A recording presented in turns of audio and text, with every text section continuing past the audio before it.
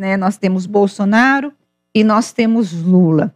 O teu berço, você nasceu, né, ali politicamente com a história do MBL, é, brigando contra o Lula, depois apoiou o Bolsonaro, depois também rompeu com o bolsonarismo.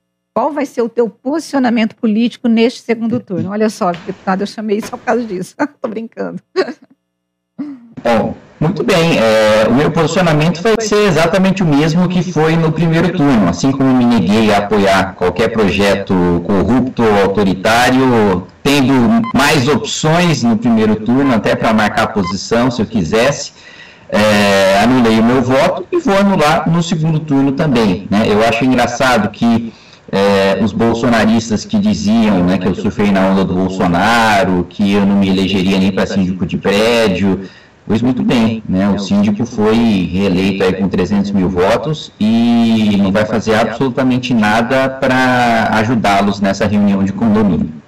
Agora, eh, deputado, quando o, essa neutralidade é, foi a mesma que o Ciro acabou tomando lá na eleição de 2018, é, isso não atrapalha o Brasil no sentido de disposicionar, porque você tem, de um lado, como o senhor colocou, é, deixa eu colocar um, um, um, corrupto, do outro, um autoritário.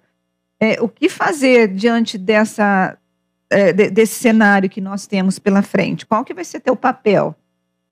Na minha posição não é de neutralidade, não, pelo contrário, minha posição é de absoluta oposição aos dois projetos. E só fazer uma correção, disse que de um lado nós temos um corrupto e um autoritário, disse que dos dois lados nós temos projetos corruptos e autoritários. Né? Acredito que ambos os candidatos à presidência da República tanto estejam envolvidos em escândalos de corrupção, como não tenham apreço nenhum pela democracia.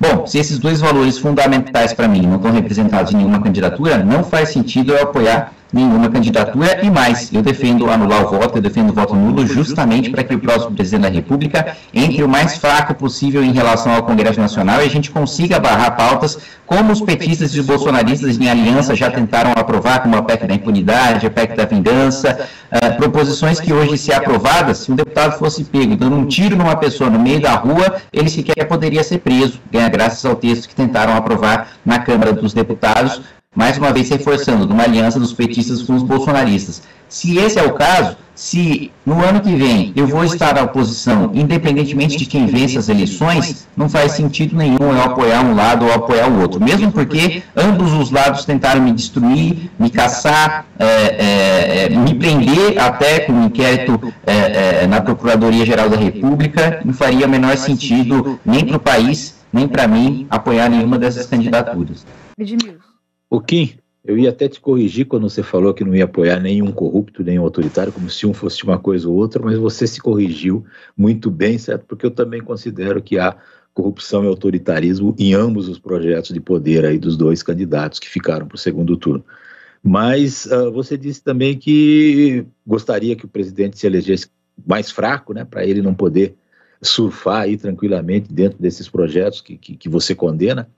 Mas nós temos um Congresso com o Centrão ocupando 47% das cadeiras. Congresso eleito já, 240 deputados, já eles normalmente se juntam, mais alguns de outros partidos também, partidos de centro, partidos de direita. Como é que vai ser a oposição no próximo governo? Você já disse que vai ser oposição ao Lula ou ao Bolsonaro, certo? E, e, e como é que vai ser a, essa oposição dentro da Câmara aqui, se prevê né, que o Centrão ele vai ficar do lado do vencedor, como sempre ficou. E, e, e qual, qual, qual, quais as dificuldades que essa oposição vai enfrentar lá? Porque eu acho que ela parece que vai ser talvez até menor do que é hoje. Né? Eu não acredito que seja menor do que hoje, porque dessa vez nós temos pelo menos aí 100 parlamentares com posicionamento abertamente de direita e 100 parlamentares pelo menos com posicionamento abertamente de esquerda. Então, quem quer que seja o presidente eleito, ele já vai ter pelo menos uma bancada de 100 eh, na oposição, podendo eh, ser aumentada aí como eh, eu planejo dentro do meu partido é, articular para que é, o partido não esteja dentro da, da, base aliada de quem quer que seja o presidente da República eleito. Então, é, eu não acho que o número vá diminuir, mas de todo modo a oposição é, fica prejudicada do, do, mesmo modo que está prejudicada hoje, primeiro, por ser oposição, por ser minoria e, e por ter um trabalho basicamente de barrar projetos, né, com pouco espaço para aprovação apesar do meu mandato, mesmo estando três anos na oposição, ter conseguido né, é, ter um mandato com a maior produtividade do país, segundo a consultoria Legisla, é, mas nesse, nesse segundo, nessa, nessa minha segunda legislatura, nós vamos ter essa dificuldade do orçamento secreto, que é esse instrumento poderoso que o executivo tem para basicamente comprar votos de parlamentares e, e muitas vezes até é, liderar escândalos de corrupção, como a gente viu no Maranhão, mais de um bilhão de reais desviados para a saúde por parte de parlamentares da base do governo Bolsonaro, que desviavam é, dinheiro junto a prefeituras. Né? Então, para mim, é uma, uma, grande dificuldade de se fazer oposição, assim como é, foi agora no governo Bolsonaro e será no próximo governo, é a existência do orçamento secreto. Agora, você acha que, é, deputado, que haverá possibilidade desse orçamento secreto deixar de existir no Congresso é, ou é uma situação sem volta? Eu, sinceramente, acho que é uma situação sem volta, porque os deputados não vão querer abrir mão desse orçamento secreto.